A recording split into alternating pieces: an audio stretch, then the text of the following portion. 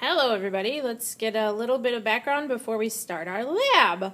So obviously we're going to talk about friction today. It is a pull or a push, a force that is necessary. Sometimes it's a good thing, sometimes it's a bad thing. We want more force when and more friction when we are driving on an icy snowy road so that we have more friction so we don't slide.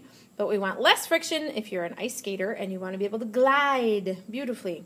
So we're going to see how surfaces so which surface um, and I'll walk you through those in a second is going to have the most amount of friction force. So a hypothesis remember should be in the correct format if uh, independent variable, then dependent variable, because, give me a reason. Let's walk through our materials. You're going to get a shoe, a spring scale, and some various surface materials. Um, just a note, your shoe should be labeled with your lab station number, and also your spring scale should be numbered with your lab station number.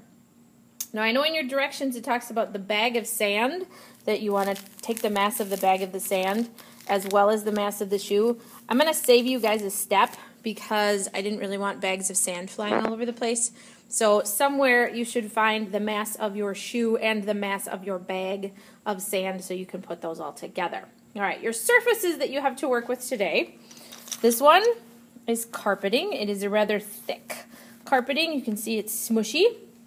Your second kind of material is a ceramic floor tile.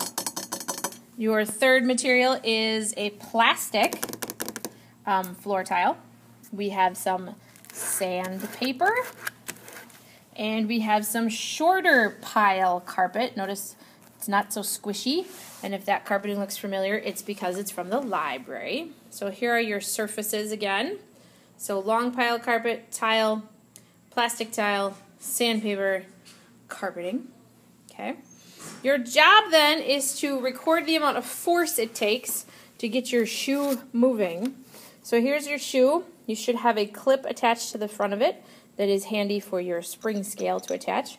A note about your spring scales, make sure you are using the side that is in newtons. You also should have a side that measures grams or dynes. You want to make sure that you are using the newton side. And you're going to record the amount of force it takes to get your shoe moving. So just as an example, put it on your surface, hook it up.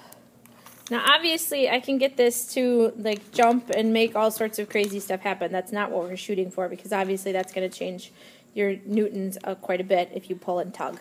The object is you just want to get it so that your shoe just starts to move. So right about there would be when I would take a measurement okay? Not when it's moving really, really fast, but just as it starts to move is when you want to take your measurement, okay?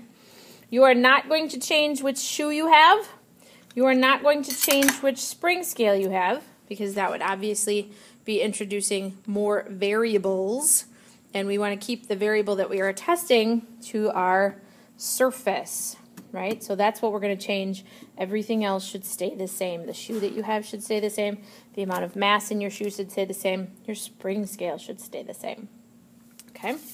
After you guys are going to take some measurements, you have a couple different trials for your recording of force, and then you're going to find the average. Uh, remember, divide, add them all up, and then divide. Then you've got, of course, um, a graph to create, your dependent, independent variables, constants, and then you should also have some questions on the back. As a reminder, you should have some helpful hints at the bottom for what types of things make a good graph. Make sure you are making the right kind of graph as well. Alrighty, so if there are any questions, we'll deal with that next. Otherwise, let's get started.